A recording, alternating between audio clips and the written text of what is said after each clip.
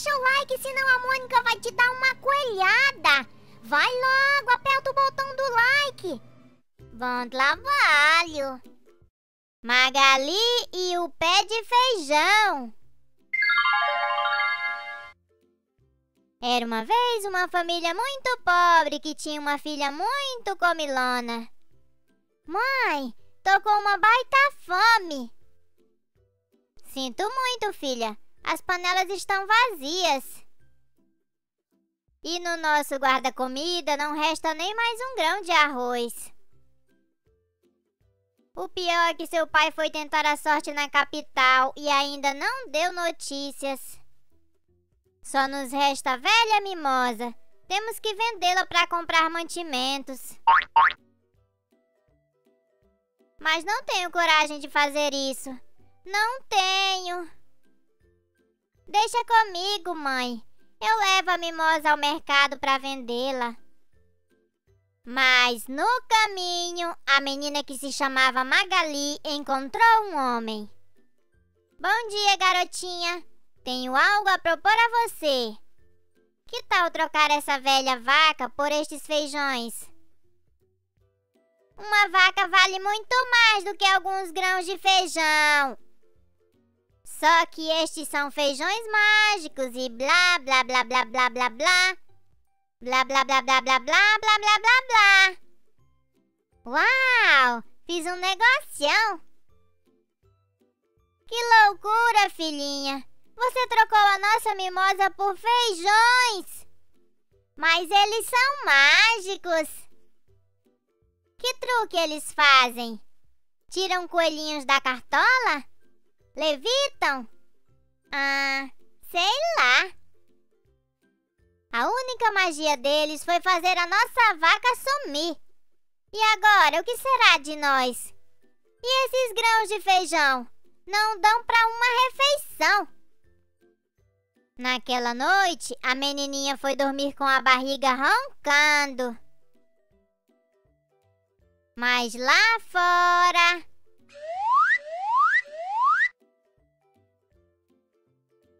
Com fome, a menina não conseguia dormir. Ai! Minha nossa! Que pezão de feijão! O homem tinha razão. Os feijões eram mágicos. Será que tem um restaurante lá no topo? E ela foi subindo, subindo. Finalmente cheguei em algum lugar. Se eu fosse você, voltava para casa. Ora, por quê? Aqui mora um cara chamado João Gigantão. Ele é bem malvado. E tem uma galinha que bota ovos de ouro. Por isso ele fez este castelo aqui nas nuvens, para se proteger dos ladrões. Hum, que cheirinho gostoso! Espere, é perigoso. Nhã!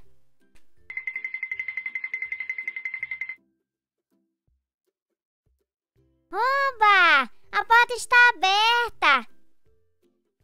Ha, ha, ha, ha, ha, ha. Se cuida, Anastácia! No dia em que parar de botar ovos de ouro, faço ensopado de você. Vou buscar mais um pouco de vinho.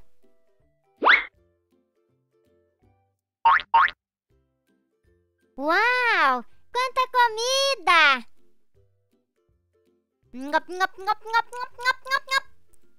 Uma delícia! Por favor, me ajude a sair daqui. A chave da gaiola está em cima da mesa. Eu não aguento mais botar ovos de ouro. Ah, o gigantão! Quem comeu toda a minha comida? Quem soltou a minha galinha dos ovos de ouro? Uma menina! Vamos sair daqui! Oh, não vão escapar! Farei picadinho de vocês! Ele está nos alcançando! Estamos fritas. Xi, o que vamos fazer agora? Sei lá. Só se eu. Socorro! Que tão bom! Bem feito! Além de me obrigar a botar ovos de ouro, me dava milho de péssima qualidade. Só quero voltar para casa.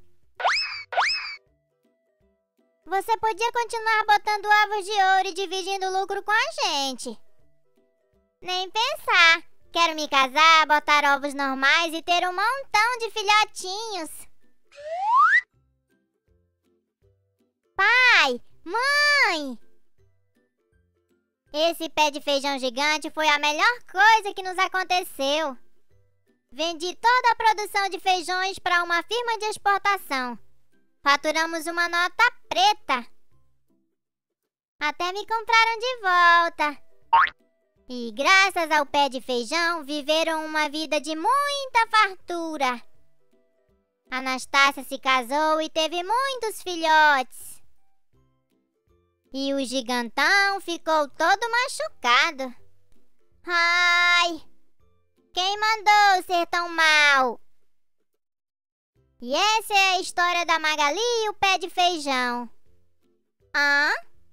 Filha, onde você está? Ô oh, mãe, essa historinha me deu uma baita fome. Vim ver se sobrou um pouco de feijão do jantar. Anjinho! Credo, Mônica! Pra que berrar tanto assim? Meus ouvidos angelicais são sensíveis. Preciso de sua ajuda. Fala aí, Mo. Não tem nada que você não me peça sorrindo que eu faça chorando. O ditado é ao contrário. Mas eu tenho que te mostrar algo. Oh, olha lá! Olha lá? Olha lá o quê? Em cima da mesa, ué! Ah, um vaso de flores.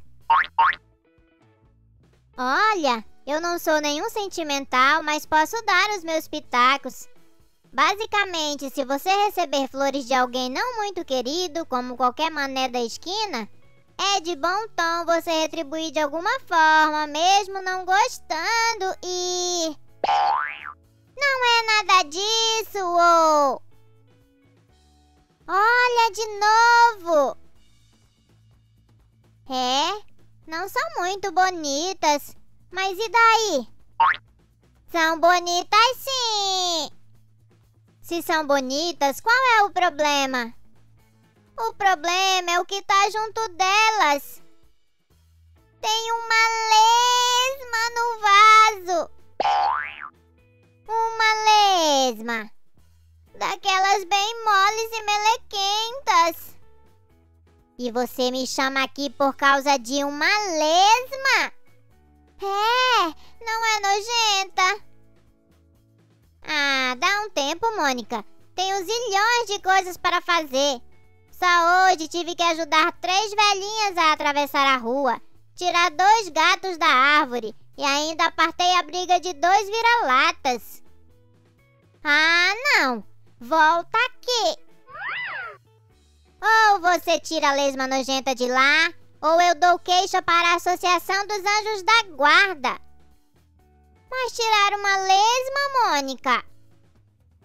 Você não quer que uma dama como eu meta a mão naquele bicho? Tá bom, eu tiro. Ê, anjinho! Que zica! Anjo passa por cada uma. Hum, onde é que ela está? Sei lá. Procura pelo rastro. Rastro? Que rastro? Lesmas deixam pegadas? Não, é rastro mesmo. Um muco nojento e brilhante que ela deixa por onde se arrasta. É. Muco? É. Gosma. Ah, gosma. É, é melhor eu ter cuidado.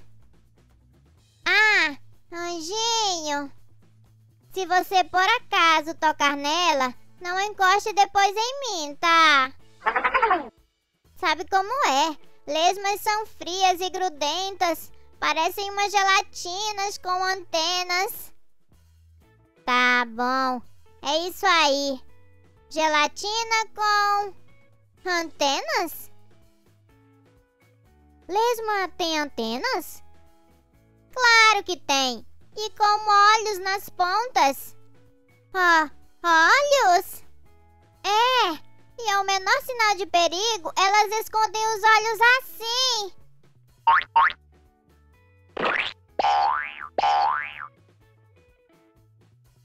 Mônica, que nojo! Viu? Até você tá com nojo delas. Não tô não. Você é quem não me deixa tirar a criatura dali. Eu, hein, Chuchu? Tô só esperando. Lesma, lesminha, lesmão. Onde tá esse bicho? Hum, será que ele é grande?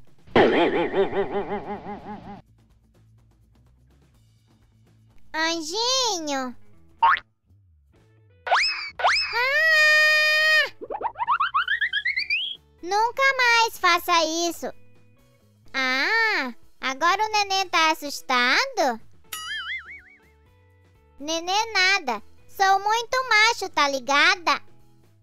Sei não. Sempre me disseram que anjo não tem sexo. Isso não é assunto para agora. Só tava querendo dizer para não deixar ela grudar em você. Grudar? Grudar em quê? É, lesmas sobem e grudam em tudo que é lugar, inclusive na gente. Minha perna tá amolecendo. Você sabe, né? Se sentir algo mole e úmido, é ela. É, por garantia, vou usar estes pauzinhos. Ah!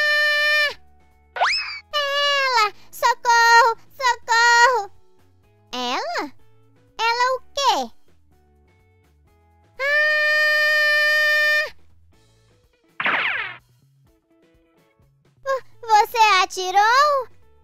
Na verdade, nem a vi. Fugi por puro instinto angelical. Ah, não. Então vá lá atirar. Aquele bicho não fica aqui dentro de casa. Mas como? Se nem a vejo. Olha, ela está lá, dentro do vaso. Onde? Na última folha, vê? Hum, não.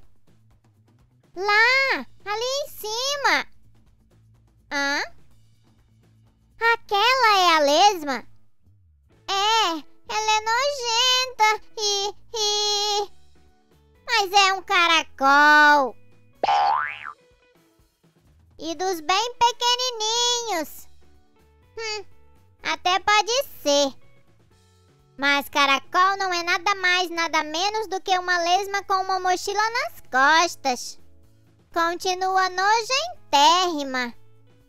Cadê a titica? Sei lá, deve ter se escondido dentro da concha. Comé. É, esses bichos quando querem apertam aqui, apertam ali e se enfiam dentro da própria concha. Até recolher os olhos sem deixar a gosma sair. E não pode estar muito quente, senão elas podem derreter e... Chega, Mônica. Não tenta me apavorar mais. Afinal, você me chamou aqui para tirar essa porqueira e... Ah!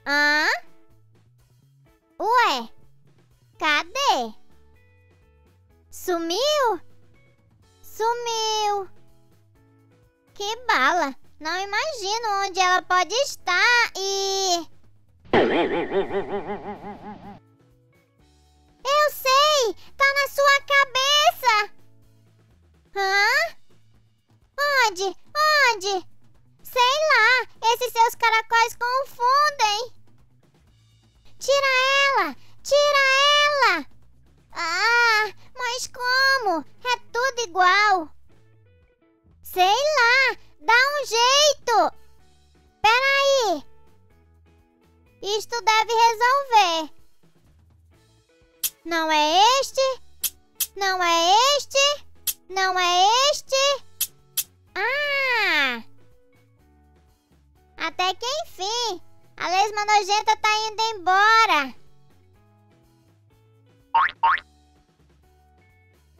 Sabe de uma coisa, Anjinho? Até que agora eu perdi um pouquinho do nojo de lesma. Sabe como é? Vi tanto caracol na minha frente mesmo sendo os dos seus cabelos que eu. Eu. Eu.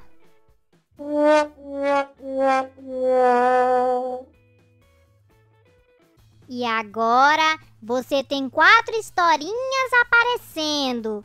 Clique em uma delas e continue no Gibilândia.